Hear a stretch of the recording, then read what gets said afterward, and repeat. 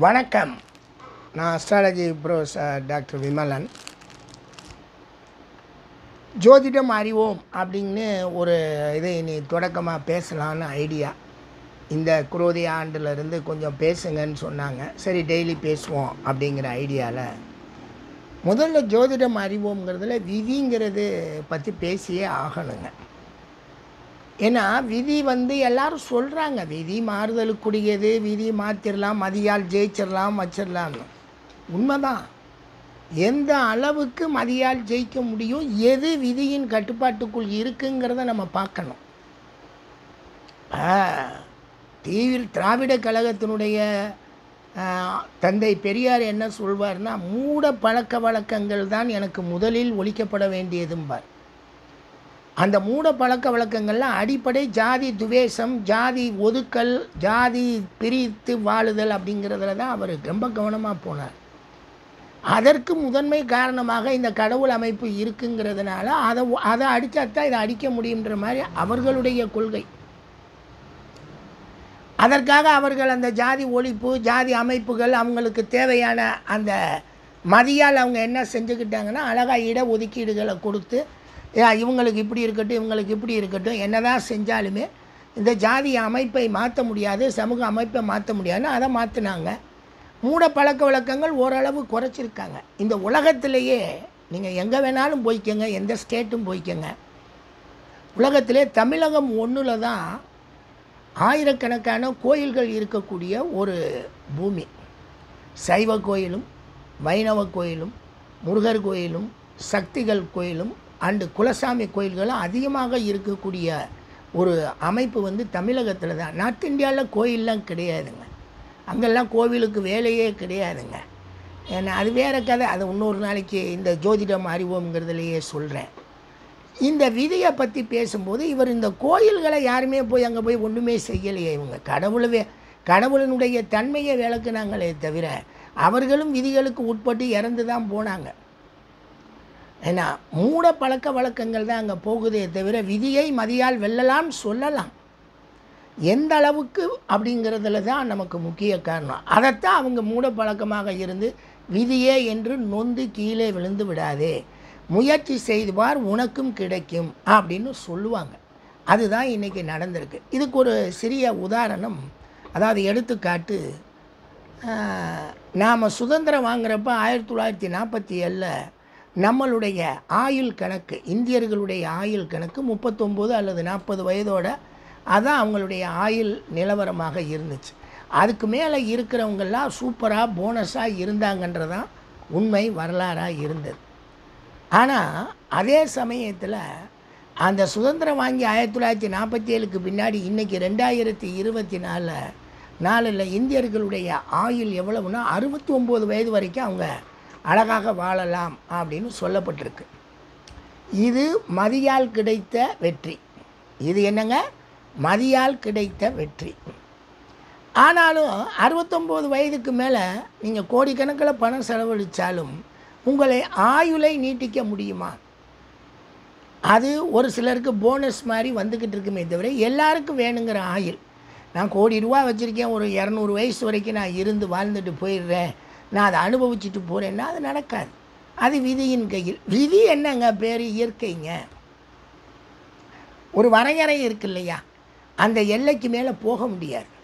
அந்த எல்லைக்கு மேலே போக முயற்சிக்கும் போது அது இருக்கிறதும் வேஸ்ட்டு அதுவும் வேஸ்ட்டு திரும்பி இன்னொரு எல்லை வேணால் தள்ளி போகுமே தவிர முப்பத்தொம்போது வயது வரைக்கும் இருந்த ஆயுள் இன்று அறுபத்தொம்போது வயது வரைக்கும் நீண்டிருக்குங்கிறது வேணால் இன்னொரு எல்லை வகுக்குமே தவிர முடிவு என்னமோ உங்களுக்கு வந்து விதியின் கையில் தான் மறந்துடாதீங்க. அதுக்காக நாம் செய்கிற கர்மாக்களை எல்லாம் செயல்கள் எல்லாம் நம்மளை வந்து சரி இது இது பாதிக்காது. அப்படின்லாம் அடுத்த ஜென்மாவில் வந்து கர்மா பாதிக்கணுங்கிறது கிடையாது. இந்த ஜென்மாலே கர்மா பாதிச்சிடும் அதெல்லாம் அவங்கவுங்க செய்கிற வேலைக்கு அவங்கவுங்க செய்கிற செயலுக்கு உண்டான பலனை அவங்க உடனே அனுபவிச்சுட்டு தான் ஆவாங்க. அன்னைக்கு மெதுவாக மேக இது உலகம் சுழலுச்சு. உலகம்னா நடவடிக்கைகள் மெதுவாக இருந்துச்சு நடந்து போச்சு. அதனால் அப்போ மக பேரேன்னு போச்சு. இன்றைக்கி அப்படி கிடையாது. இன்றைக்கி உலகம் ஸ்பீடாக போயிடுச்சே ராக்கெட் லேயில் போகுது. அப்படிங்கிறப்ப அவன் பிரச்சனையும் அவன் அவனே அனுபவிச்சுட்டு போயிடுவான். அதனால தான் விதிக்கு நீங்கள் பயந்தாகணும். எங்கள் ஜோதிடத்திலே எப்படி சொல்லப்பட்டிருக்கு ஜோதிடம் அறிவோங்கிறதுல விதி இந்த மாதிரியெல்லாம் மாற்றத்துக்கு உள்ளாகும்னே நாங்கள் சொல்லியிருக்கோம். காலதேச வர்த்தமானம் ஜாதி மத நிறபேதம் யுக்தி சுருதி அனுபவத்துடன் பலனை சொல்லுங்கள். இந்த கால தேச வர்த்தமானத்திலே எங்களுக்கு வந்துடும் இந்த காலம் எப்படி இருக்குது அந்த காலம் எப்படி இருக்குது அதுக்கு தகுந்தாற்போல் நீங்கள் நீட்டி சுருக்கி சொல்லுங்கள் பலன்களை. அதனால் தப்பு இல்லையே. நாங்கள் இப்போ அவங்கெல்லாம் வந்து மறுப்பாளர்கள் ஜோதிடம் பொய் தானே? அது ஒரு மூட நம்பிக்கை தானே? அப்படின்னு அவங்க சொல்லுவாங்க. எந்த அளவுக்கு அப்படின்னு மனிதர்களை ஜோதிடம் சொல்லாமல் உங்களுக்கு பாதிப்பு இது இதை நீங்கள் தீர்த்து கொள்ளுங்கள் சொல்கிற வரைக்கும் அது பாதிப்பு. நீங்கள் வந்து இதில் வந்து ஒன்றும் பலன் கிடையாதுங்க. நீங்கள் கண்டிப்பாக இதை தீர்த்தா தான் உங்களுக்கு எல்லா நன்மையும் கிடைக்கும்னு சொல்கிறாங்க இல்லையா? அந்த வகையில் உங்களுக்கு ஜோதிடம் பாதிப்பு பரிகார லெவலில் போனால் ஆனால் பரிகாரமே தேவையில்லையே. காலத்தை பற்றி உணர்த்த தானே ஜோதிடம் சொல்லியிருக்கு. அப்போ விதி என்னன்றதை வாசிச்சுக்கிறது தானே அங்கே வேலையாக இருக்குது மாத்திரைக்குண்டான வேலையெல்லாம் அங்கே அது செய்யாது செய்யவும் முடியாதுங்க. ஏங்க இப்போ விதியினுடைய செயல்களை நாங்கள் ஜோதிடத்தின் மூலமாக மாற்றி அமைப்போம்னு முடிவுக்கு வந்துட்டா உலகத்தின் மிகப்பெரிய முதல் சாத்திரம் நாங்கள் தானே. எல்லாரையும் உயிரை வாழ வச்சுருவோமே. ஒவ்வொருத்தரும் ஜோசியனே சொல்கிறான் விதி எல்லாம் ஒன்றும் கிடையாது விதி வாசிக்கிறதெல்லாம் இல்லைன்னு ஒரு ஜோசியன். அவனுடைய பிழைப்பு அவனுக்கு தெரிஞ்சால் அந்த அறிவு அவ்வளவுதான். இதில் அப்படியெல்லாம் ஒன்றும் கிடையாதுங்க அழகாக சொல்லும். எல்லா விஷயத்தையும் யூகித்து அறிந்து உங்களுடைய சுருதிகள் பொதுவாக சொல்லப்பட்டிருக்கு. பொதுவாக சொன்ன விஷயத்தை அனைவருக்கும் நீங்கள் அப்ளை செய்ய முடியாது. எனவே இவருக்கு எப்படி இதுக்கு இவருக்கு சொல்ல முடியுமா? இவர் அதுக்கு தகுதியானவரா? அதை ஏற்றுக்கொள்ளக்கூடிய பக்குவம் அவருக்கு வருமா? கோள்கள் கொடுக்கக்கூடிய பலன்களை அப்படின்னு பார்த்து அறிந்து தான் சொல்லணும். அதை பலன் சொல்கிறது அவ்வளோ ஒன்றும் பெரிய சாதாரண விஷயம் இல்லை. அது ரொம்ப பெரிய கஷ்டம். என்கிட்ட படித்து பட்டம் வாங்கிட்டு போனவங்கெல்லாம் பலனாக சொல்லிகிட்டு இருக்காங்க அதில் ஒரு பத்து பர்சன்ட் சொல்கிறாங்கனாலே பெரிய விஷயம். ஏன்னா அதெல்லாம் நடக்காது. விவரம் தெரிஞ்சுக்கிட்டு அவங்க நிம்மதியாக வேணா இருப்பாங்களே தவிர சொல்லலாம் முடியாது. இது ஒரு தனி கலை தனி ப்ராக்டிஸு உண்மையை கண்டறியணும். விதியை எப்படி வாசிக்கணுங்கிறது தெரிஞ்சுக்கணும். இந்த திருச்சி மீட்டிங்கில் கூட பேசினது இன்னும் அவங்க சார் அனுப்பலை. நாங்கள் பேசினதை எங்கள் பாப்பா வந்து ஒரு வீடியோ எடுத்தாங்க அதை போட்டாங்க. அதில் கூட நான் அதைத்தான் சொன்னேன்.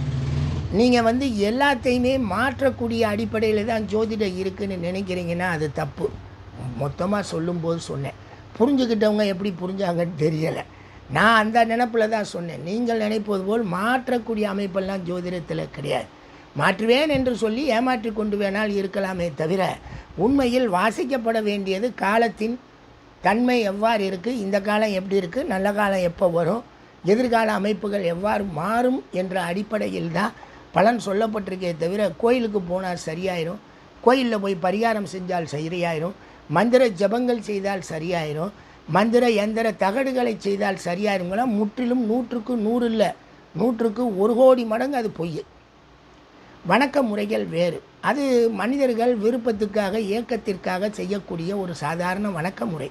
அது அவங்க செய்வாங்க. நடந்தாலும் நடந்தால் நாராயணாம்பாங்க. நடக்கலைன்னா கண்ணு திறக்கலையா? அவனுக்கு அவன் நம்மளை பார்க்கலையான்ட்டு போவாங்களே தவிர பெருசாக அதனால் அவங்க ஒன்றும் பெரு பாதிப்பு கிடையாது. ஆனால் ஜோதிடம் சொல்லக்கூடிய அடிப்படையில் தோஷங்கள் ஜோதிடத்தில் உண்டு. அது எப்படி? மனுஷன் தோஷம் இல்லாமல் வாழ முடியாது. அதே மாதிரி அரச யோகமோ அல்லது செல்வ யோகமோ இல்லாமல் வாழ முடியாது. அதுவும் அவருக்கு கிடைக்கும். இந்த யோகங்கள் மூலமாகவும் வாழ்கிறார்கள் இந்த தோஷங்கள் மூலமாகவும் வாழ்கிறார்கள்.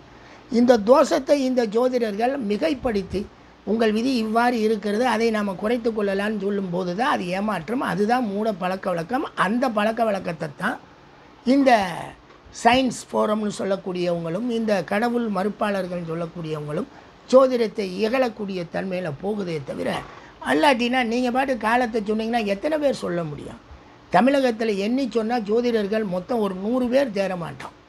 ஆனால் இன்றைக்கி ஆயிரக்கணக்கான பேர் போய் சொல்லிக்கிட்டு உட்கார்ந்துருக்காங்கன்னா அவங்க பொழப்பு நடத்துகிறாங்க சத்தா அதாவது கெட்ட நேரம் நடக்கக்கூடிய மனிதன் அவங்கள்ட்ட தானே போய் ஜாதகம் பார்க்க முடியும். நல்ல நேரம் நடக்கக்கூடிய மனிதன் நம்மளை மாதிரி ஆள்கள்ட்ட வந்து சேர்ந்துருவாங்க.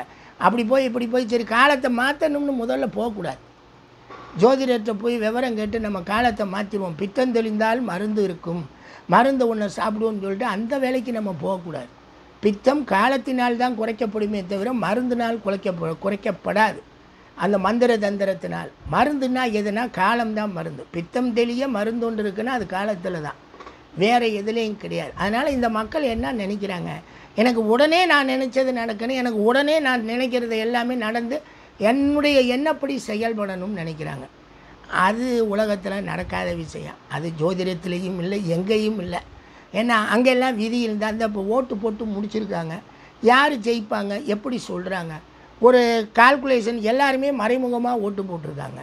எந்த அளவுக்கு அந்த ஓட்டின் பாதிப்பு அந்த இதன் பாதிப்பு இருக்குன்னு சொல்லி மறைமுகமாக ஒரு கணிதம் சொல்லுவாங்களே தவிர ஓட்டை பிரித்து நடந்தது விதி என்ன சொல்லுதுன்னு அங்கே திறந்தால் தானே தெரியும். அதுதானே விதி. அவன் தலையெழுத்தில் என்ன விதி வந்திருக்குன்னு. எங்கள் அறிவியல் அடிப்படையில் இதெல்லாம் கண்டுபிடிச்சிட முடியுமா? அங்கே தான் கண்டுபிடிக்க முடியும். என்னதான் மதி வேலை செஞ்சாலும் வி கடைசியாக உங்களுக்கு வெற்றி பெறுவது என்னவோ விதி தான் அந்த விதியின் தன்மை எப்படி இருக்கும்னு அழகாக யுக்தி சுருதி அனுபவத்துடன் யூகித்து சொல்வது இந்த ஜோதிட சாத்திரம்.